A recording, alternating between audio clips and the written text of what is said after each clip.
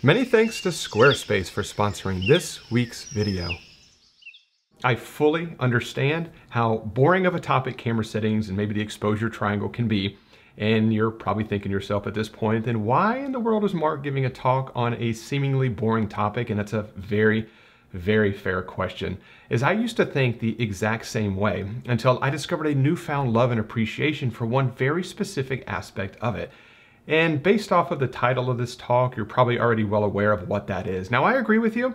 ISO and aperture, not much to get excited about there, but shutter speed, on the other hand, is completely, or can completely change so many different aspects of your photography. But most importantly, it gives you the ability to, I guess, see the world in a way that's not possible for the human eye. And it's not something that, that our brains can even comprehend which is a testament in itself is our eyes and our brains, well, they're pretty powerful. And my hope is that over the course of the next uh, 15 minutes or so, you'll fall in love with this topic as much as I have, and you'll be able to, or you'll be inspired to embrace this little golden treasure.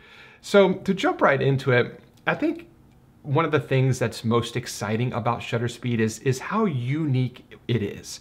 And I really want to drive home how special shutter speed is. And I think the best way to understand this, and we just kind of touched upon this a minute ago, about how you know how powerful the, the human brain is. You know that the eye, the human eye is a very very powerful thing, and I want to relate it real quick to cameras and to camera technology. So we're going to go through a real quick exercise that you can do at home. So wherever you are, wherever you're watching this video, just place your hand close to your face. Not this close, you know, you don't want to be cross-eyed or anything like that, but to a, a, a, comfortable viewing distance to where you can see all the details of your hand, you know, maybe your, your fingerprints or maybe the striations of your hand, and just stare at it.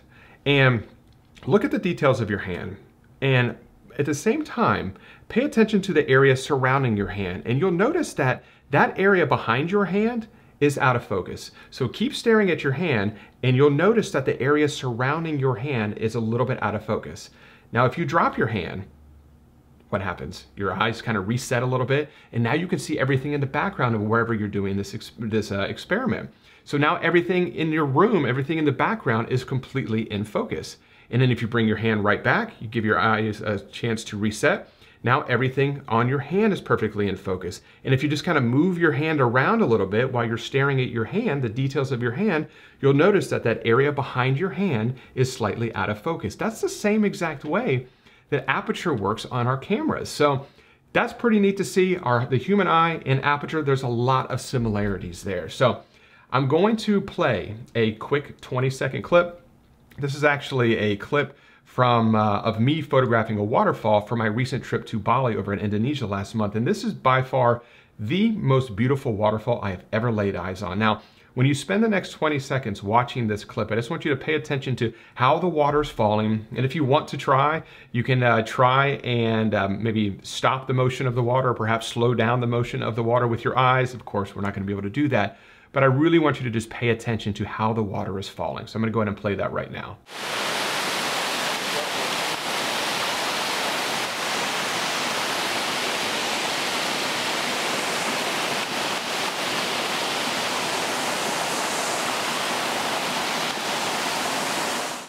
But as you watch that short clip, of course you weren't able to slow down that water falling. Of course you weren't able to, you know, completely stop time there. But I think you can kind of see where I'm going at here. The human eye can't do anything close to what shutter speed can do. You know, the human eye can do what aperture can do, but we cannot see the way shutter speed operates in our camera. We can't slow down time. We can't stop time. I mean, people have spent their entire lives looking for the fountain of youth, and it's not because they're thirsty. It's because they want to try and figure out a way to stop time or a way to slow down time, which we cannot do.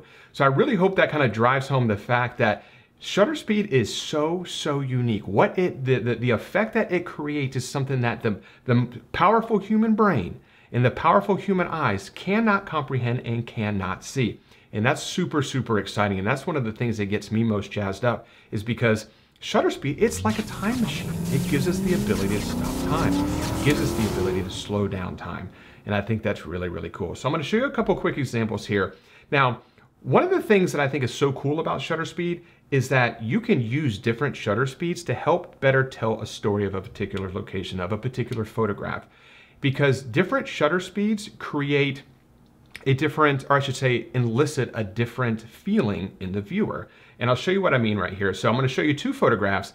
These aren't incredible photographs by any stretch of the imagination, but they really drive home this point. So when you're looking at this photograph, these photographs, I'll only show them for maybe 10 seconds a piece, but really just kind of tap into the emotional side of your brain. Watch the water or look at the water falling, look at where the, the water is meeting the ground or meeting the, the water beneath the waterfall and just really pay attention to that and tap into the, the, any kind of feeling that you might, or you know, I guess a um, emotional response, if you will. So any type of feeling that comes up when you're looking at these photographs. So here's the first one right here. And here's the second one. Now, of course, both of those photographs were taken with this slower shutter speed, and as you were kind of examining those photographs, you might have felt a feeling of calm or a feeling of peace, perhaps. Now I'm going to show you these exact same photographs, the exact same compositions taken just, these photographs were taken seconds later, but with a much faster shutter speed and go through the same exercise. I'll show them on the screen, 10 seconds a piece, tap into the emotional side of your brain and just see what types of emotions come up. Here we go. And here's the next one. So now a common feeling that a viewer typically has when they look at a photograph that is taken of, of moving water that is taken with a faster shutter speed is it's energetic a little bit, maybe a little bit loud, a forceful, a dynamic type of a photograph.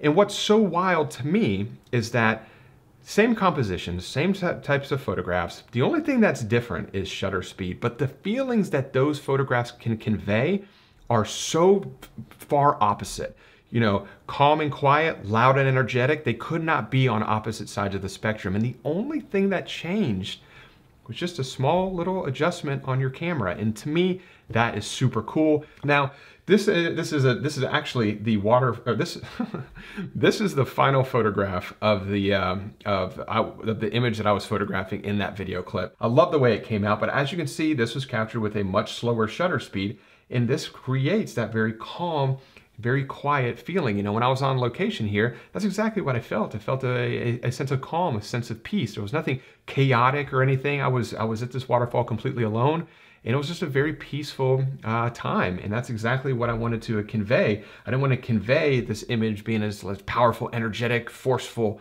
type of a scene. I wanted it to be a very uh, kind of chilled out um, photograph for the viewer to look at. And I think that using this shutter speed definitely achieved that. Here's another example right here, a, a, much longer shutter speed than I normally do, but I think that it definitely drove home the, uh, the fact that this is just a very calm and a very quiet type of an image. One from the, the Golden Gate Bridge, uh, once again, a very, very long shutter speed, just letting these waves move in and out, just really kind of drives home that fact of just a very quiet and ethereal and just kind of a calm evening. And this right here, like you could never see this with your eye. Like you would never be able to see these striations of water pulling away. So using these slower shutter speeds to help tell the story of what you might have felt when you're on location is a great way to just kind of drive home that fact of that or that elicit or, or elicit that response, emotional response in the viewer. This is actually the, this is not a, a great image at all, but it's a very old photograph, but it's the longest shutter speed I have ever taken or used or applied. I think it was right around two or three minutes, and I, I, don't do a lot of extremely long shutter speed photography, but this is very, very long for me. But I like the way it came out. It's just, it's a very quiet and it's a very peaceful photograph, and I think that the shutter speed used really lended itself to that, uh, that emotional feeling. Now on the complete opposite side of the spectrum, we just went over slower shutter speed, creating that calm, that peaceful and ethereal feeling. Using a fast shutter speed, is the totally the opposite thing. Powerful, energetic, uh, sometimes chaotic feeling. I think there's no better photograph that I have possibly than this one right here. This is a, a, a new image from uh, from my trip to Indonesia. This is along the, the Nusa Penida coast. These just huge waves crashing in. And if you could just imagine what this would have looked like if I did, if I took this photograph with say a 10 second shutter speed or even just like a, a five second shutter speed or maybe a minute this photo would have a completely different feeling. It would have a completely different meaning. And for me, when I look at this photograph, this photo has this kind of like a, a dual type of a feeling to it. You know, you have this man kind of looking at the ocean, the, the wave coming in, I, I envision he's kind of wondering to himself, you know, wow, that's a little bit bigger than I thought. Should I retreat? Should I go in any further? And then the wave is just building and building, and there's just a lot of energy in this photograph. And I think that shutter speed is what really did it all. Another great example from uh, Acadia National Park. This is it uh, out of Acadia uh, a couple years ago. There's huge waves crashing up through here. I've been to this location quite a few times, and I've never seen it with such dynamic wave action here. But using that faster shutter speed, getting all these waves crashing up against this incredible coastline, even was able to get a little bit of spray popping up here as the sun was setting. And using that fast shutter speed to tell that story of that energetic and that forceful evening spent on this beautiful location. Yosemite Falls, zoomed all the way in with a very long lens. Just wanted to get this waterfall crashing down here with a fast shutter speed to really tell that story of how powerful this water was. You know, this was after a, a big snow melt, and was, Yosemite Falls was just absolutely raging on that day, and or that week I was there. And I really wanted to tell that story. And using that faster shutter speed definitely did that. So using these fast shutter speeds is, absolutely monumental in certain situations. Now, of course, if there's nothing dynamic happening, like the sea is completely calm and there's no clouds in the sky and there's no wind at all, it might not be the best time to use a fast shutter speed. But in that scenario, you know, you're probably feeling a sense of peace and a sense of calm and a sense of relaxation or quiet. That'd be a good opportunity to use a slow shutter speed or maybe a very long shutter speed to really smooth out the sea or whatever, you know, is, I guess, creatively is kind of like sparking some type of uh, uh, interest on your mind. But if the sea is really, really kicking up, that's a great opportunity to use that fast shutter speed. And this is a good example from uh, Kauai from quite a few years ago. There's just so much wave action happening all through this image. And using that fast shutter speed to freeze that action, I really think lended itself well to this photograph. One more uh, example here. This is uh, Skogafoss in Iceland. And then I zoomed all the way in with a long lens and a super fast shutter speed to capture this right here. And I just love the, the, the, the downward, I guess, just pressure this image feels like. I mean, I really wanted to show that grandiose nature of this waterfall. Almost that, you know, if you stood underneath this waterfall, it would completely crush you. I wanted to really show off that, that, that feeling of that. And I think that this image did just that power. Now, in between a fast and slow shutter speed is something that I call a blended shutter speed. And I think that naming convention is a little confusing sometimes. I don't mean take a fast shutter speed photograph and a slow shutter speed photograph and blend them together in Photoshop. What I mean by a blended shutter speed is a shutter speed that's not super fast, it's not super slow, it's something in the middle, and it's something that I absolutely love to do. It's the shutter speed I'm always going for. Now, a question I get rather often is what's the best shutter speed? And there is no answer. I should say there's no correct answer to that question because it's all dependent on the amount of flow of water. So um, a, a, half second with a, a, a, ton of water pouring over a waterfall is going to look totally different than a half second exposure with just a trickle of water pouring over a waterfall. So there's no way to answer what's the best shutter speed. But what I, what I like to go for is a shutter speed that shows motion and at the same time shows as much detail in the water as possible. So in order to show as much detail in moving water, you use a fast shutter speed. That shows all the detail, but you lose all the motion. And the way to show the most motion in moving water is by using a slow shutter speed. That's gonna show all the motion, but then you're gonna lose all the detail. So I'm always trying to figure out, find that balancing act. How do I show as much motion as possible and as much detail as possible? And it's a, it's a little bit of a, a cat and mouse game, if you will. This is from my recent trip to the Lofoten Islands in Norway, and I think this is a, a really good example of this kind of blended shutter speed. Not super fast, not super slow. You can see that the water definitely is moving, but you're also getting a lot of detail in the water as well, which is really, really important.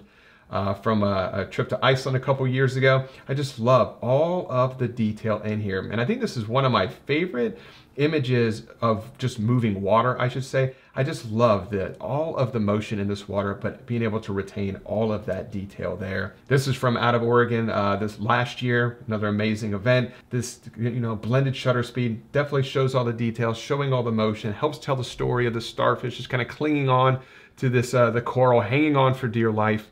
And I think that the shutter speed used in this really kind of helped to tell that story. And this is one of my favorite waterfalls in North Carolina. Just another good example. You can obviously see that this water is not, whoops, is not uh, frozen. You can see the movement, but you can also see a ton of detail as well. From the Blue Ridge Mountain, uh, Blue Ridge Mountains, from West Virginia from uh, actually quite a few autumns ago, but definitely just a ton of action, ton of, uh, of dynamic um, excitement, if you will, showing a lot of detail, showing a lot of motion, and then this one from Hawaii as well. But I really feel like you can kind of understand exactly where I'm going at with all of this because I think it's one of the most exciting things about shutter speed. One, so I think he's doing a pretty good job, but one thing that he uh, fails to do at this point is thank the sponsor of this week's video, which is Squarespace, who he uses for all of his website and e-commerce needs. Squarespace provides a robust and beautiful online platform to develop your website. You can showcase your photography using Squarespace's professional portfolio designs and display your work using customizable galleries in order to make it your own. And with Squarespace's online store feature, you'll have access to all the tools you'll need to start selling your physical, digital, or service products online immediately. Can even use Squarespace's new asset library so you can upload, organize, and access all your content from a single place in order to easily find and use them across the entire Squarespace platform. So if you're looking to start a new website or possibly upgrade your current website, check out squarespace.com forward slash Mark Denney for a free trial and 10% off your first purchase. Just to kind of briefly recap here, one, the human eye, the human brain, we can't see shutter speed at all. The only way we can see it is with our camera, and that in itself is pretty awesome. Second part about it, it's a time machine. It gives us the ability to stop time or slow time down. We've been watching um, movies about time travel and time machines since we were little kids, Back to the Future.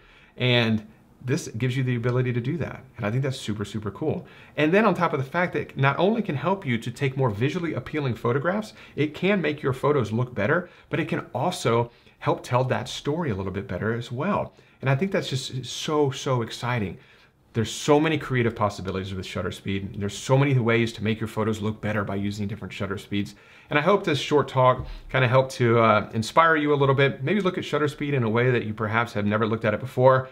I I hear a lot of times that when I talk about shutter speed, people are like, you're crazy. You're, you're acting like a complete nerd over this. Who thinks about it like that? And I do, and I think it's so exciting. So um, hopefully you, you, you didn't think about that, and hopefully this talk maybe kind of sparked a little bit of creativity or a little bit of inspiration in you.